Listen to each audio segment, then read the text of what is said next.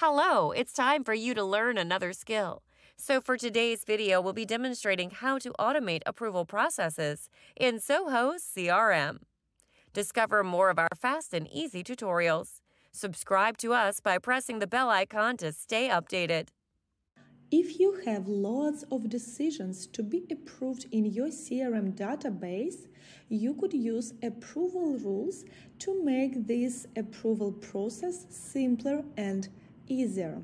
Let's check my example built on the module quotes.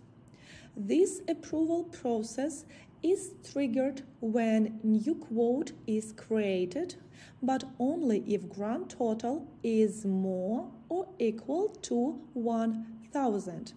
We have actions after approval and after rejection. After approval, quote stage is changed to confirmed and email notification to the quote owner quote approved is sent. We have another action after rejection.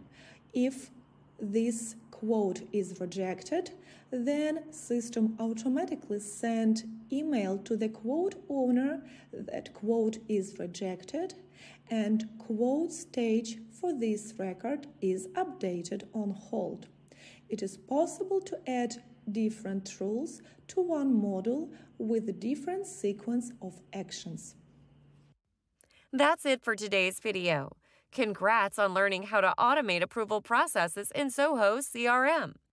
Stay tuned for our next videos and help us grow our audience. Press the like icon, subscribe, and share our videos to your friends.